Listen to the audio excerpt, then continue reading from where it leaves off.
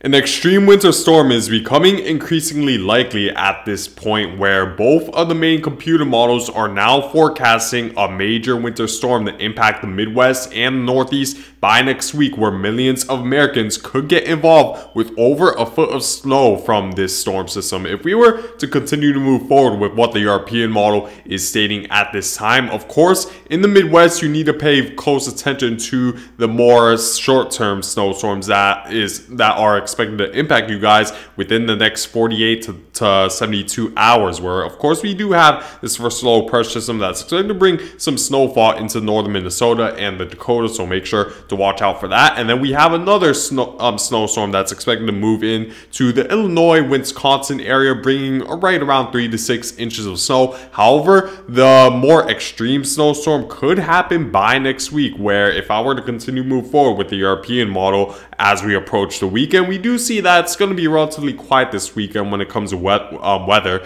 and we do see that the temperatures will be much colder than average for much of the eastern half of the United States, but that's expected to quickly change as we approach the midweek of next week, where we do see that there's going to be an enhanced area of convection developing right around the Ohio Valley. That's going to bring some rain showers and potentially some snow in the northeast, and moving forward, we're going to have several clipper systems that are expecting to move through the United States as a result of a pronounced jet stream dip now that we're seeing, which has definitely been, uh, which is definitely unusual for what we've been seeing so far this winter, where we just seen a very dominant ridge that's parked right over the eastern half of the United States. That's been, that's been bringing a strong southerly wind to prevent a lot of clipper systems from moving southward and bringing snow to much of the northern and especially the eastern United States. But that's but that trend is expected to change next week, where we do see a pretty pronounced jet stream dip. So we could see a multitude of clipper systems move through, and as a result, an enhanced risk of winter weather moving forward.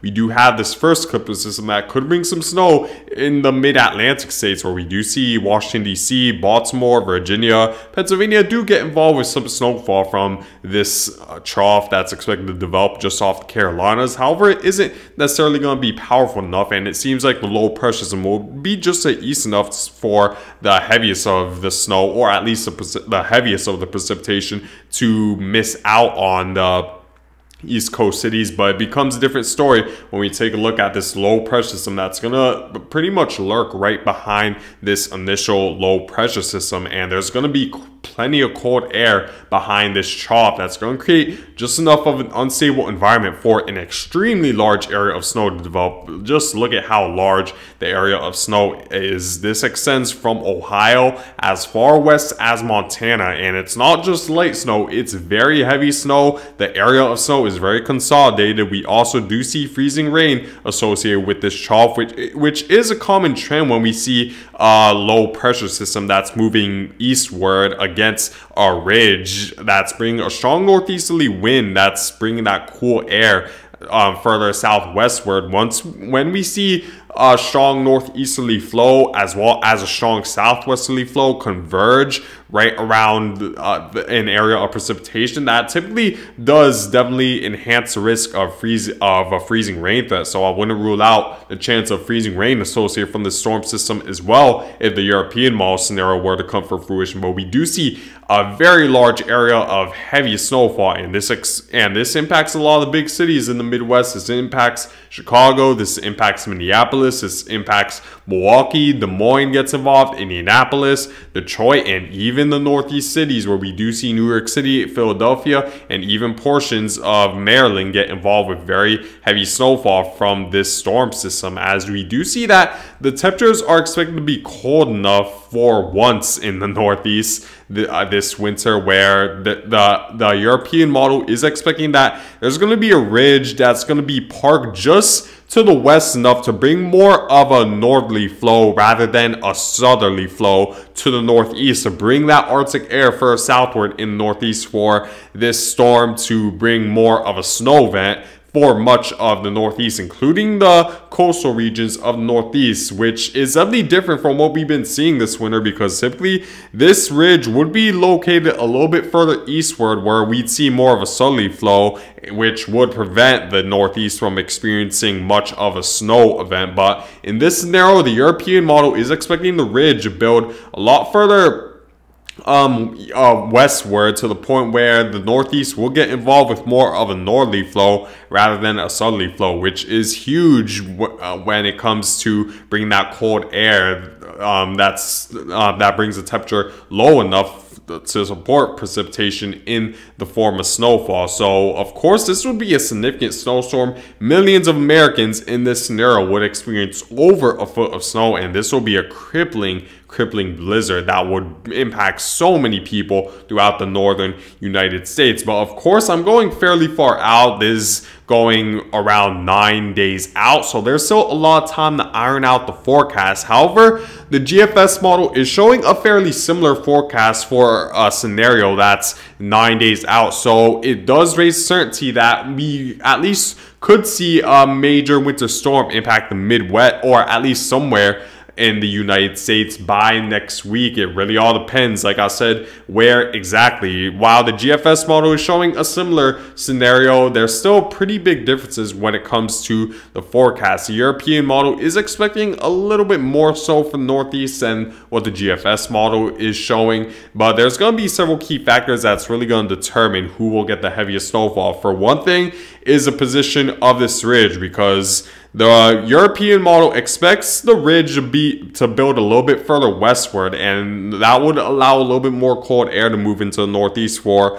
more of a snow event to occur in the European model scenario. And also, the European model isn't expecting this ridge to necessarily be as strong as GFS model, so we're still seeing the the cool air linger around a little bit more in the northern United States for much of the for many areas of the Midwest and Northeast to experience snowfall rather than the more northern areas, rather than snow stay exclusive to the more interior and the more northern areas of the United States. So we're going to really need to determine how strong this ridge will be just to the east of this low pressure system to really determine who will get the heaviest snowfall from this trough. And at this point, the European model expects that this ridge will be just weak enough and just so west enough to bring snowfall for much pretty much most of the northern United States, and we could potentially see that ISO as that's certainly not out of the realm of possibilities either because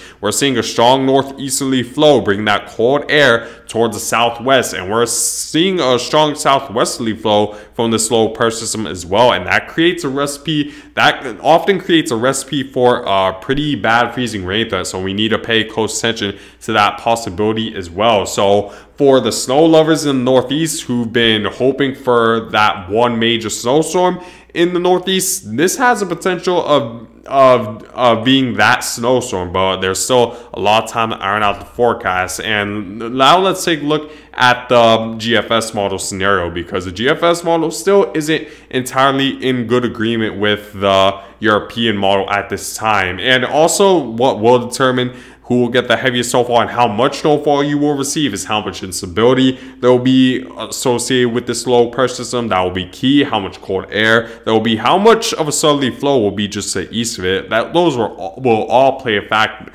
factor in determining how strong this storm will be and who will receive the heaviest snowfall. I'll keep you guys updated over the next several days. Now let's take a look at a GFS model. So for the short-term future, the GFS model is in pretty high agreement with the European model. Expect snow in many of the same areas that the European model is expecting snowfall, at least for these next two short, more short-term snowstorms moving through the Midwest. So in Minnesota, watch out for snowfall for your Wednesday morning commute and into Kansas. And I will make sure to watch out for snowfall as well going into Thursday as well. And even in Chicago, you might get a little bit involved with some snowfall as you approach the late Thursday Thursday time frame, so watch out for that. But moving forward to this uh, potential extreme snowstorm that's expected to build by next week. So if we were to continue to move forward, we see the same Clipper system that the European model is forecasting develop in the GFS model scenario as well. The GFS model is taking a storm that's a little bit stronger. It expects the instability to be there a little bit more than the European model, but for the most part, it's still a similar forecast, primarily a rain event for the Northeast. But moving forward, we do see that uh, this the same Clipper system that the European model wants to bring to the Northeast.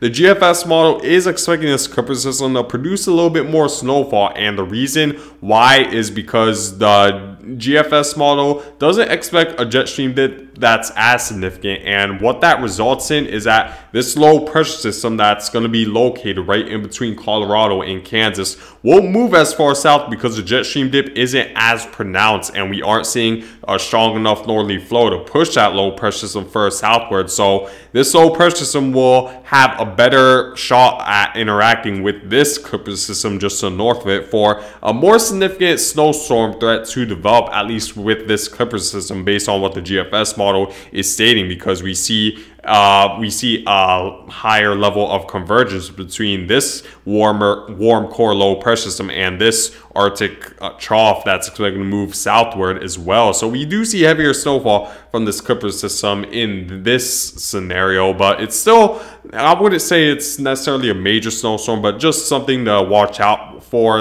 um, before the big event comes through the Northeast. And then moving forward, what's interesting is that the GFS model expects this storm system to develop more in a segmented in a more segmented um, way where we see uh we see the first low pressure system develop right around the Mississippi River Valley as the GFS model doesn't expect as much ridging to build as far westward. So we see a little bit more troughing or at least a higher possibility of convection to occur a little bit further eastward a little bit earlier. So we see a low pressure system develop as a result of that as the, the GFS model expects just enough instability for this first low pressure system to develop. And we do see heavy snowfall from this first low pressure system. And we do see that for the second low pressure system, it's still bringing a very similar area of snow to the Midwest. And you see that for the most part, in terms of where the European and the GFS model want to bring the heaviest snowfall,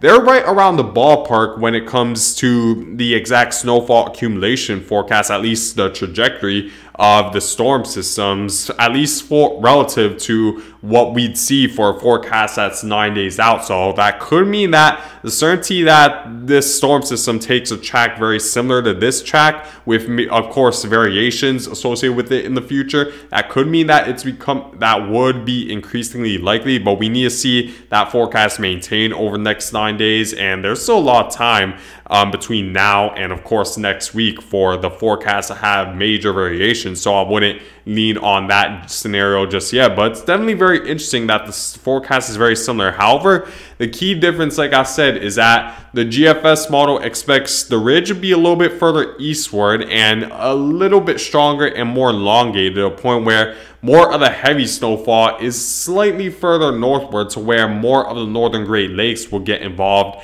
with snowfall rather than the rather than the more, um, more southern portions of the Great Lakes like Chicago, Indianapolis, Cleveland, which is definitely very interesting. But in this scenario, the G- the Northeast still experience, uh, experiences snowfall. I'm, I wouldn't say it's as much snowfall, and it isn't um, over as large of an area, but it still does experience snowfall in the GFS model scenario, which is definitely very interesting. We're going to need to wait and see how this ridge will build to really determine the track and where exactly the heaviest snow will fall. So I'll keep you guys updated over the next several days. Let me show you guys the positions of um, of the ridges based on what the two computer models are stating at this time. Taking a look at the 500 millibar height anomaly.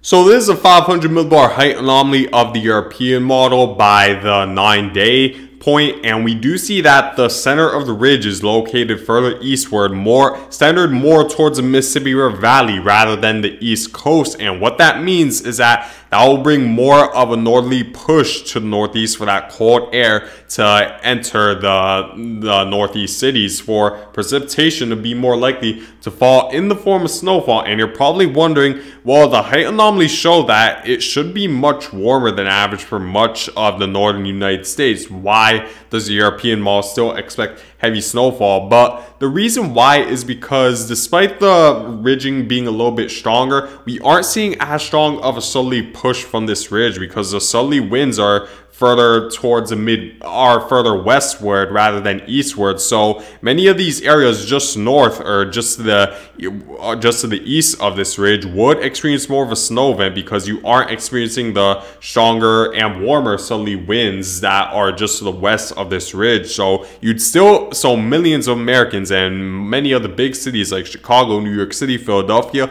and boston in this scenario would experience an extreme snow event despite the ridge being quite strong, but it's still weak enough for the solar pressure system to seep through and that cold air to seep through as well. Now let's compare this to what the GFS model is stating.